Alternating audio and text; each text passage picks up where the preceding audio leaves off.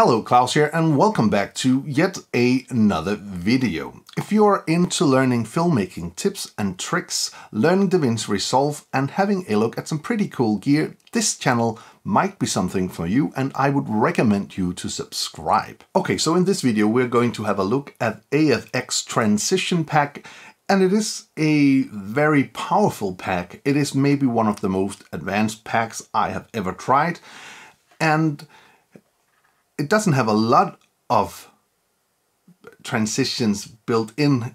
As a matter of fact, there's only eight types, but because they are so customizable, they will actually surprise you quite a bit, I do believe.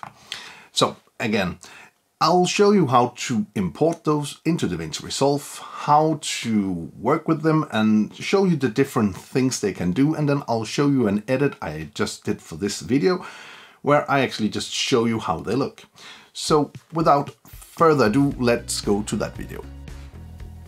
Okay, so first off, I'll just show you quickly how to install your effects. So you have to go into the program files, into the Blackmagic Design, into the Resolve folder on your computer, into templates, and then go into Edit, and uh, go into Transitions. And here we have all the different transitions, and I'm just going to open up the transition pack. Uh, there is one for the free version of Resolve and also one for the studio version. I'm using the studio version, so I'm going to copy paste all of those settings in to that folder. Like so, and I'm just going to say yes to this. And then next time we open up DaVinci Resolve, they will be right in there.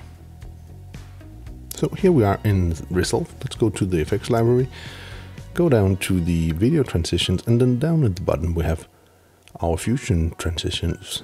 And there is eight of these transitions and you might not think that that is a lot of transitions, but the it's really kind of advanced. So let's just jump into this instead. So here I have a little bit of an edit. So let's go again to the effects library into our transitions and uh, let's just take our camera move transition. I'm just going to add that in between two clips here. Just going to zoom in. And as you see, I have those right here. And here I can actually change the type. So I can go from right, like I'm doing here. And I can go from the left, as you see right here. I can go up.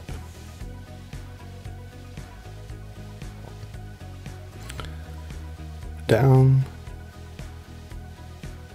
Bottom left.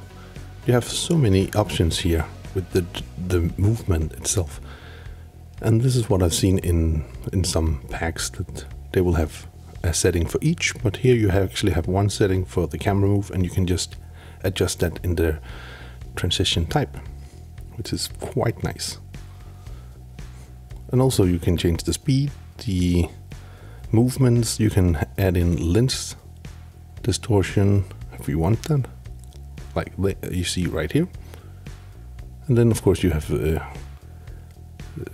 the strength of that and the position of that. Uh, it's really customizable actually. Like you see right here. Just tickle that on and off here so you can see the difference. Then you also have a motion blur you can add in you can change the quality of that motion blur. It, it is really a lot of customization built into these transitions. And then we have other settings like glow, intensity, we can do camera shakes.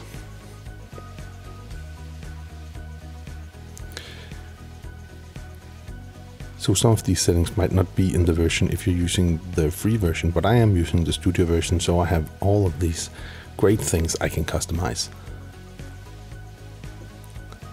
There we go.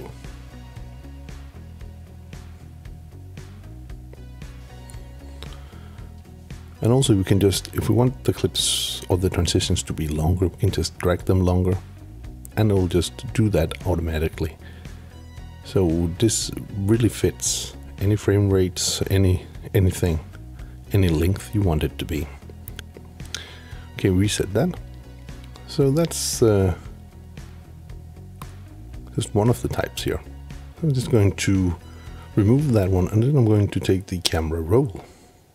As we see right here, I'm just going to drag that on. And uh, again, we have a lot of settings we can change. You see here. Again, we can go vertical or horizontal. We can change a lot of small things. Again, motion blur, as other setting. We can add on film damage on this one, as for instance. So we'll just do that.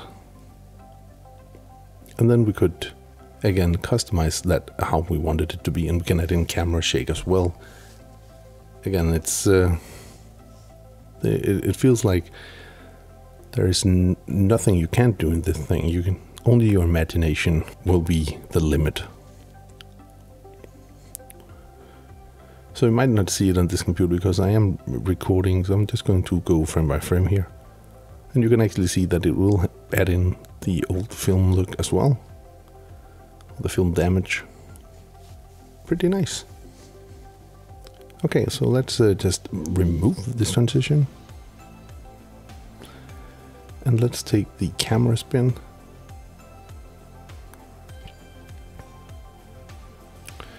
And then we can change that from a, a, slow spin to a quick spin or whatever we want. Again, there is so many settings in here.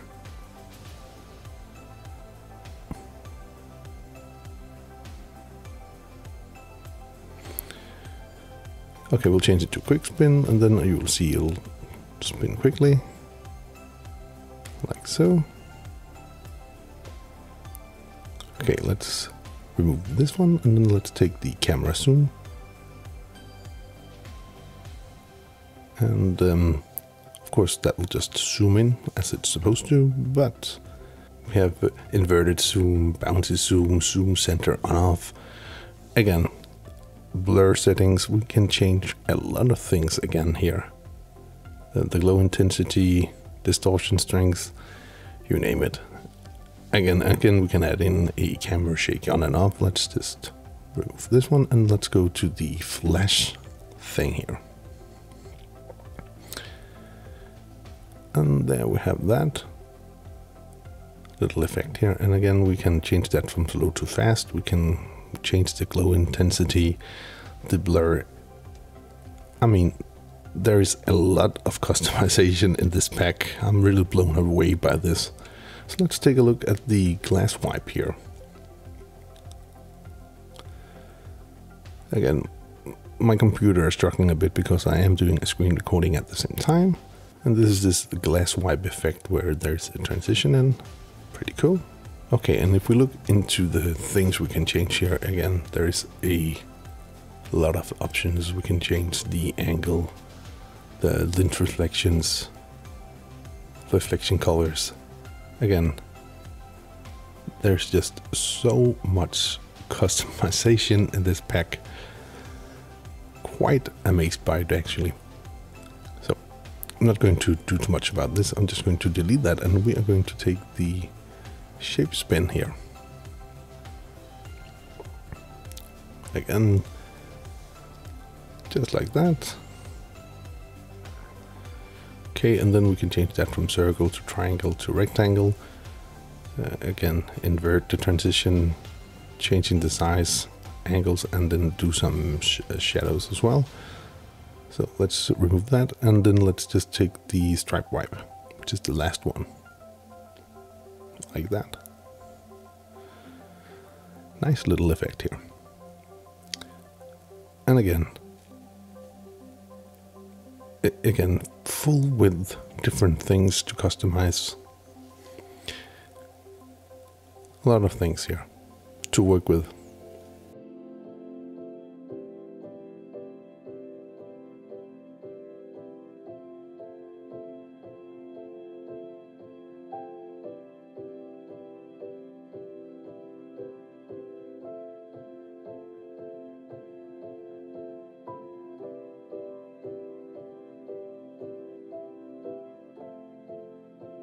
So that was a look at the transition pack from AFX and I must admit, as you saw from the video, I am quite amazed by the power of this pack. So just here at the end of this video, it's time to just do a little bit of a disclaimer, of course, because the pack were sent to me and I were asked to try it out. But whatever I am saying about the pack is my own opinion and what I feel about it. But again, I do love this pack and for the money you're paying for it, it is quite a lot of value. Anyway, I do hope you found this video useful. If you did, please hit that subscribe button. Give the video a like, share it with your friends if you think it will help them out. And if you want to be notified every time there's a new video on this channel, please hit that bell icon down in the corner. Until next time, keep filming, keep learning, and keep sharing.